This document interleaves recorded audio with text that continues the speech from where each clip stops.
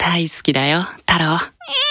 これは私ムゲが大好きな男の子に会うため猫になるちょっと不思議な物語。太郎！お前は太陽の匂いがするな。太郎だったらこんなに好きになってくれるんだね。無限大謎人間はいらないんだってさ。言葉を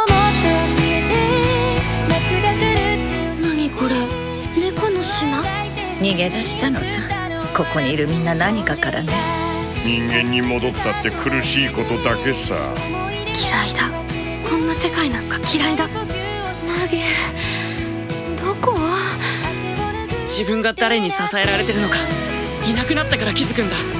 私私本当は人間に戻りたいの。泣きたい私は猫をかぶる